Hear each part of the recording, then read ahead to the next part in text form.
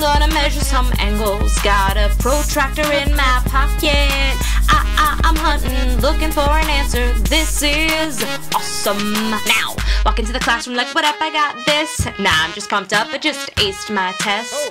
I know my angles, I know the vocabulary. My teacher's like, wow, this kid's even better than me. I look at the problem that is down in front of me, thinking about that angle, thinking about what it means. What will my answer be? I know my steps, one, two, three. I'll tell them to. You just need a protractor to see.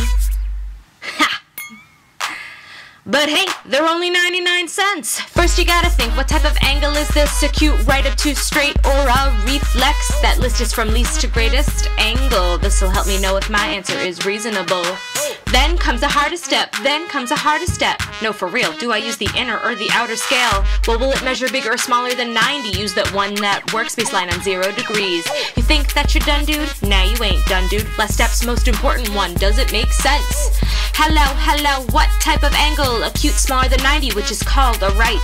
A straight's 180, obtuse is in between. Anything else is reflex. You know what I mean? I'm gonna measure some angles. Got a protractor in my pocket. I, I, I'm hunting, looking for an answer. This is awesome. I'm gonna measure some angles. Got a protractor in my pocket.